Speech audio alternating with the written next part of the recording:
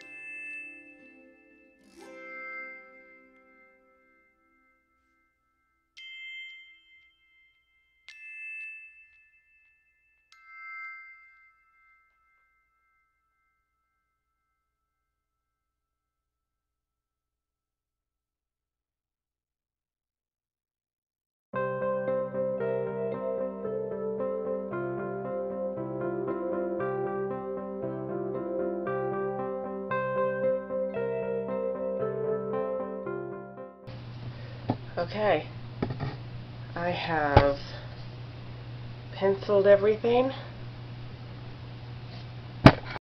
Okay, I've penciled everything. So now all I need to do is peel and see if it's going to come out correctly. Set my light over there.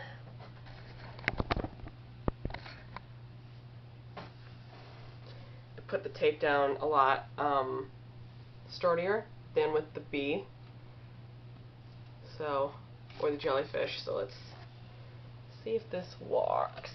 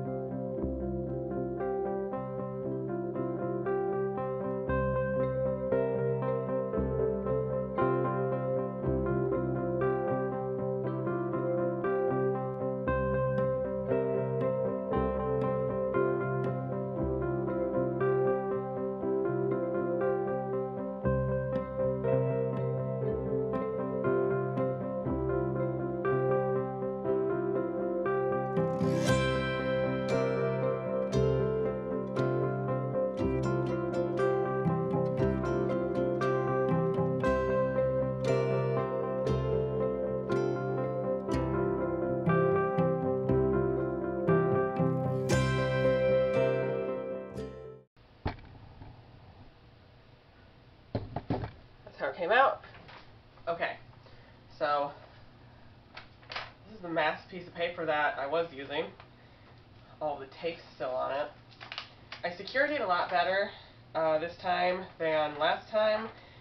Uh, you may have seen me taking the paint, the tape off. Uh, I wanted it to stay in the same spot much better than it did for the B. The lines on the B were a bit a little bit wonky last time. Not too bad, but still pretty bad. And so I I only taped it down like a thousand times. But this is the old drawing that I can now safely put away. This is how the penciling came out. It's actually a lot cleaner than I thought it was going to be. You may notice there are some spots, like right here, where it's a little smudged, but hopefully that won't be too much of an issue uh, when I am trying to get down to the nitty gritty of painting it. I'm going to gesso it, and then we're going to move on from there. I don't have a lot of time today, so I might only be able to gesso a layer or two and then have to move on, but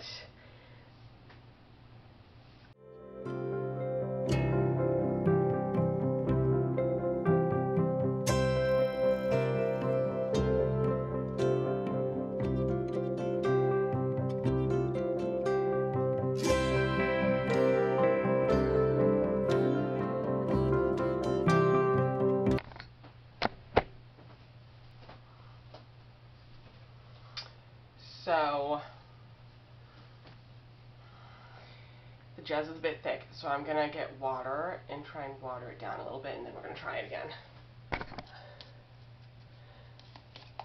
I'm realizing as I mix this, this might have been a horrendous idea. I don't know if the gesso's ever even going to work now that I'm doing this, but we're going to keep trying. Okay, the gesso is drying and it dries pretty fast. And after that, I think I'm just going to leave it because, um, as mentioned earlier, I don't have a lot of time today to do something. Um, I just really wanted to get this far so that when I come back home after work for the following week or two, I can just focus solely on this thing. Um, and hopefully it dries clearer than when it laid on. I'm a little worried that it won't, but I think I'm just going to leave it at this, and when I start painting again, I will try and record as much of that as possible excuse my stuffed voice, but excuse you. She just tried to nip my bum. Um, but I changed the composition of the painting a little bit.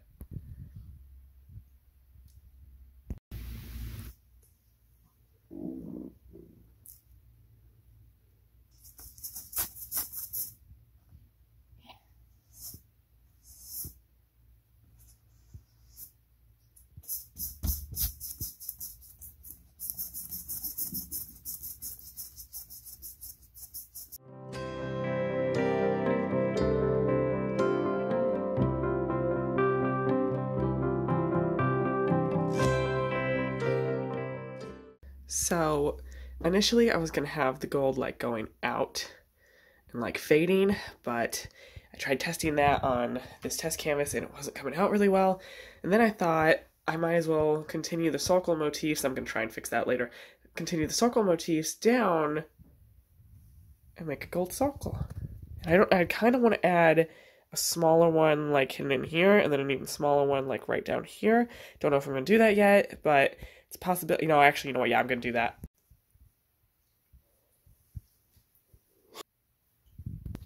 So I'm going to leave it for now. I'm going to leave it to dry, and then I'll come back to it. For now, some dopamine. Okay. I like it. I like it.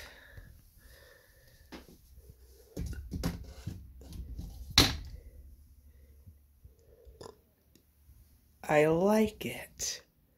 I redid the circle lines on these moons, and I'm hoping I can just white out the purple when I make those circles again. I'm really, really hoping, I'm praying, I'm begging that I can do that. Uh, and then the snake, I think I, I did as best as I could to get the lines clean. This is definitely going to need a second coat, but I am out of the gold in my I have I have plenty of gold, but like I'm out of it right now, so I'm gonna have to do that when it dries. This is an oil based gold, not an acrylic like this. Well, okay, actually, well, it's an acrylic latex, but that's not the point. Uh, the point is I'm gonna have to wait for this to dry before I can put on another coat. I think I'm gonna have to wait for this to dry before I even do the snake in the base of white. Why did I put all of the all of this detail on here? I'm not gonna be able to see any of that. I'm just going to end up layering it by my gut instinct regardless. I don't know why I bothered with that.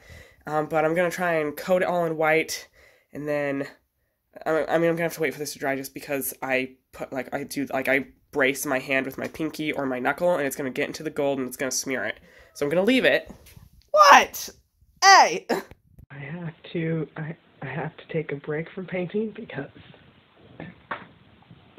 this is the only gold paint I have and it takes up most of the body of the snake. And if I smear it, it will be a nightmare to get that out. So I am now going to start reading this liminal horror.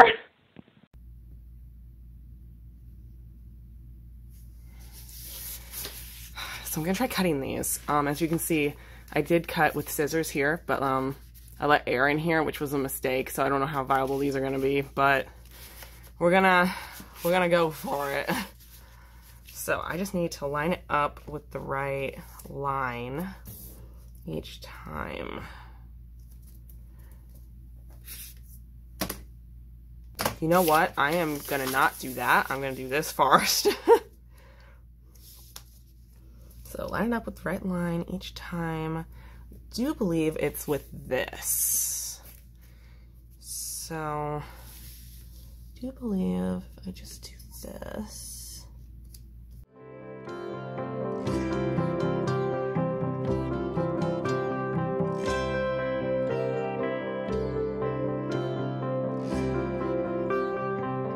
Just my pile of discards over here.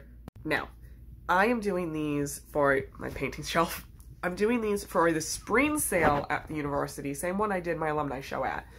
Uh, same one that, same one that that bute's gonna be in. Now, uh, I got these kind of, I got these clear ones done. I got that done. Now, I have the fun challenge of doing these matte ones as well. Let me move the discard pile as actually the B looks fine. Um, I have to, I get to debate if I want to cut this one smaller. I feel like I could just leave them as I, um, because I feel like cutting them would be a pain in the butt to try and keep them all nice and straight. So I think I'm just gonna cut the stickers and I'm gonna leave the prints as is on the 11 on the 11 and 8 by half. Because uh, at least that you can find frames for easily. What the jellyfish would cut to, I have no idea. And frankly, the beetle, the beetle just looks a little weird with all that white space, but like, it's what you get, man. These are the ones that were giving my printer issues. But here's the thing, they were not giving my printer issues until it hit the beetle. It had to reprint these, like, I think I only printed five or six of these. It had to reprint these, like, two or three times because it would stop halfway through a beetle and then restart because it got, it got jammed. So these are done. If I need more, if I want to make more, I'm probably just going to order them from somewhere instead of trying to do that again with my printer. Because frankly, I don't have enough ink anyway to justify it. And, well, they came out well enough. I have so much photo paper now, though, because of this. So, I mean, maybe I'll just upgrade a printer next year. Who knows? But now I get to do these, which you can see, I kind of smudged this, unfortunately. So this one's just going to be mine. First things first, cut out the, actually, you know what? One, three of these.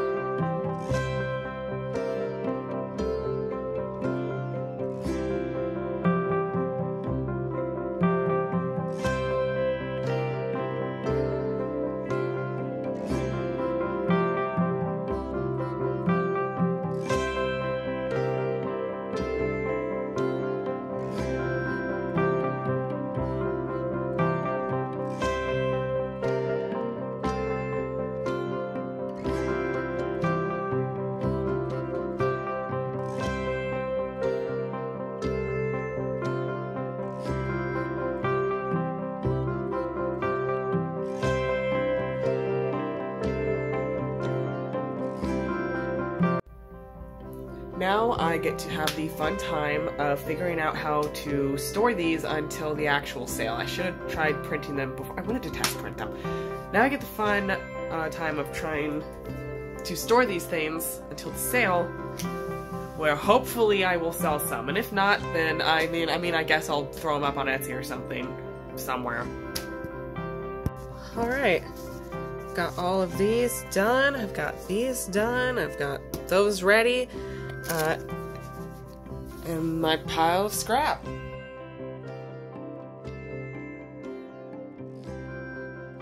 She is done.